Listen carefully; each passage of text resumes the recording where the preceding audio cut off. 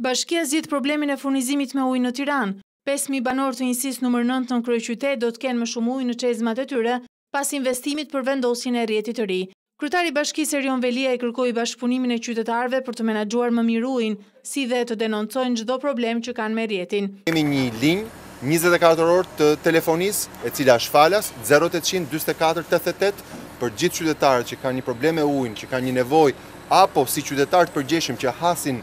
një tubacion që është dëmtuar ose një pjesë rrjetit që ka nevojë për vëmendje, të jetë numri që telefonojnë pa pagesë nga telefonët e tyre, është një mundësi se si ata vetë ruajnë investimet. Vetëm këtë vit Bashkia e Tiranës ka kryer mbi njëqind ndërhyrje dhe përmirësime në rrjetin e ujësjellësit, ndërsa arkëtimet janë mbi nëntëdhjetë për qind.